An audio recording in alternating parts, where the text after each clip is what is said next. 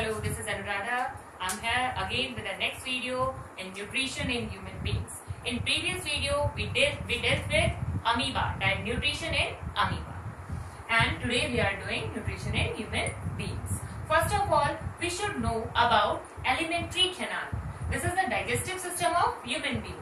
Inside it, there is alimentary canal that extends from mouth to anus. From mouth to anus, the long tube that extends from mouth to anus where absorption and digestion takes place.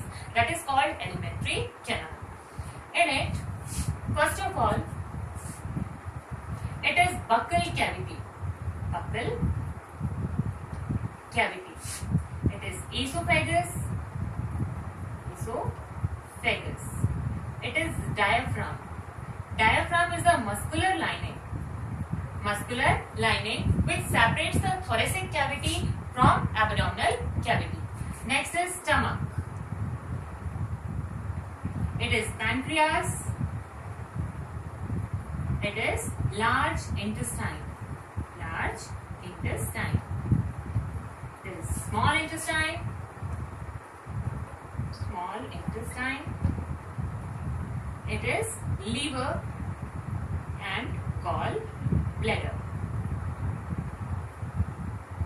All these are the different parts, rectum and anus.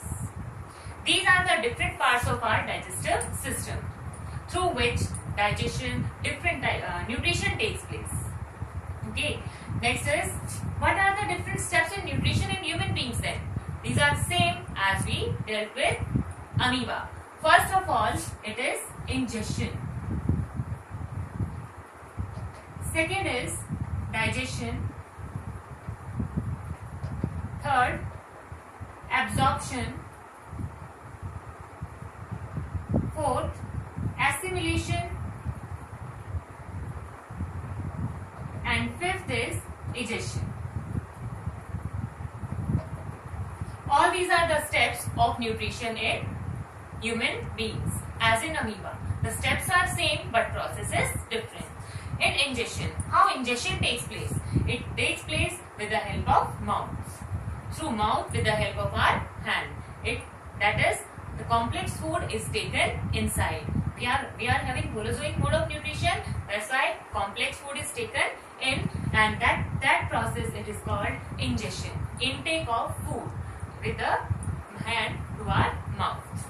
Then the food goes to buccal cavity. In buccal cavity, there are present salivary glands. There are present salivary glands. Salivary glands secrete saliva. Salivary glands secrete saliva and saliva has as an enzyme salivary amylase. Salivary amylase. Salivary amylase help in digestion of carbohydrates. Help in digestion of carbohydrates. So we can say that digestion of carbohydrates takes place in or started in buccal cavity. After buccal cavity, food goes to esophagus. Esophagus, it is also called food pipe. In food pipe, peristaltic movements takes place. Now what are peristaltic movement? Peristaltic movements. What are peristaltic movements? These are contraction and expansion movements that takes place in esophagus and help in pushing the food to the stomach. Now, food comes to stomach. Stomach is a J-shaped organ which secrete gastric juice. And gastric juice has many components, three components.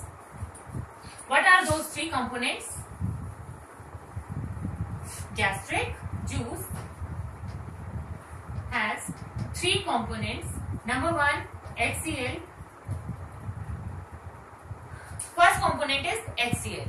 It helps in killing the germs. It helps in killing germs. Second function is it provides acidic medium. Acidic medium to activate pepsin. To activate pepsin.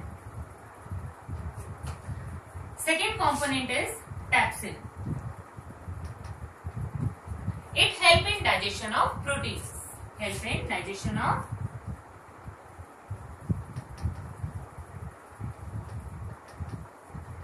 proteins. And third component is mucus. It is the slippery layer that is present around the lining of stomach to protect the stomach from its own secretion that is HCl. As you know, HCl is a strong acid. If there is no protection against it, that it will corrode the lining of stomach. Protect stomach lining, stomach lining from HCl. These are the components of gastric juice and their functions. HCl, pepsin and mucus. Now we can say that digestion of protein started in stomach. Now the food goes to small intestine and in between there, there are lying pancreas, liver and gallbladder. Then the food goes to small intestine. The pancreatic secretions goes to small intestine. Now we should know about pancreatic secretions. Pancreas secrete pancreatic juice. Pancreatic juice. Pancreas is a leaf-like structure. In pancreatic juice, the components are trypsin, amylase and lipase. Trypsin, amylase and lipase. These are the three components of pancreatic juice. Number one, trypsin. It help in it help in digestion of proteins. Number two, amylase. It help in digestion of carbohydrates. It help in digestion of carbohydrates. Number three, lipase. It help in digestion of fats. Digestion of fats. And all this takes place in small intestine where the secretions of pancreatic juice goes. This is liver. Liver is the largest gland of our body.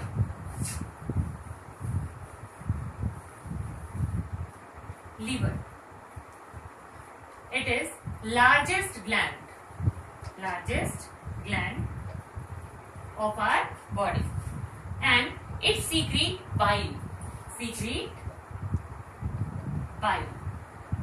It is greenish yellow liquid that help in emulsification.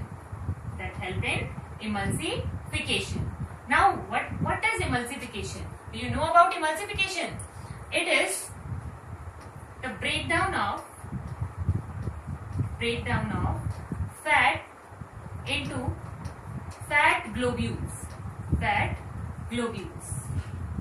It is called emulsification done with the help of bile. Now, bile is used in emulsification and that is left that is stored inside gallbladder.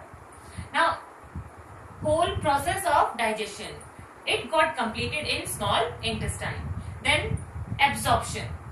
So after digestion, what's the step? That is absorption. How absorption takes place? Absorption takes place with the help of villi. Villi are the finger-like projections present in the wall of small intestine. These increase the surface area. Increase the surface area. Surface area for absorption of digested food. Digested food. What are villi? These are villi. Villi are finger-like projections which increase the surface area for absorption of digested food. Now, after absorption of digested food, food goes to blood and release energy. With the help of process called respiration. And that energy is used for growth and repair of the body. And that process is called assimilation. For growth and repair of the body. That is called assimilation. After that, undigested food goes to large intestine and where the excess of water and minerals are absorbed. And undigested food goes to rectum and anus. In this way, the undigested food is digested out and this is called egestion. Whole process of digestion, whole process of nutrition takes place like this. Now, we should know when the digestion takes place, carbohydrates carbohydrates breaks up to form glucose with the help of enzyme called amylase. Second, proteins break down to form amino acids. Amino acids. And third is fats. Fats break down to form fatty acids, fatty acids and glycerol. In this way, all the complex particles get breaken, broken down with the help of enzymes. This with the help of amylase, this with the, with the help of trypsin and pepsin and this with the help of lipase.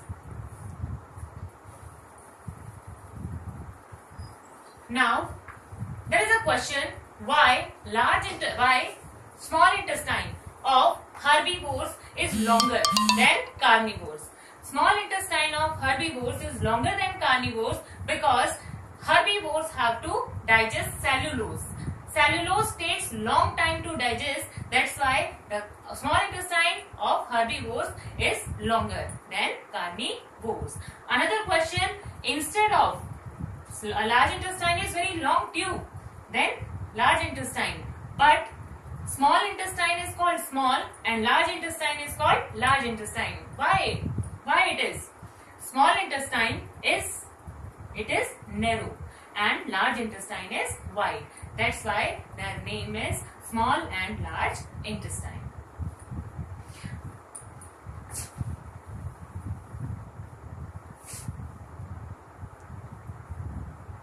In this way, digestion takes place in the body. Now, dental caries. Dental caries.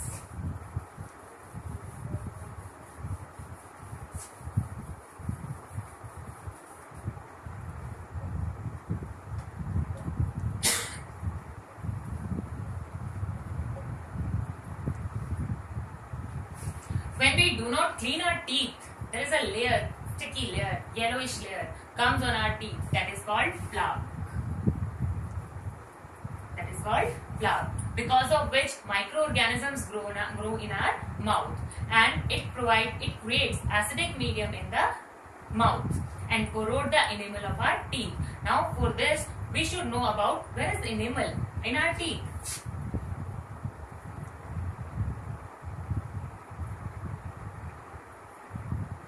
Enamel is the outermost layer, hardest layer present outside the teeth. Then there is dentine and it is pulp cavity. When there is acidic medium that is pH is below 6, 5.6 in our mouth then then enamel start corroded. That is started corroded and the our teeth becomes sensitive. Our teeth become sensitive. After enamel damage of dentine takes place and then we can feel the sensation of cold and hot in our pulp cavity in the nerves and our teeth become sensitive. That's why we use toothpaste. That's it. That is basic in nature. And to neutralize the acidic medium in our mouth.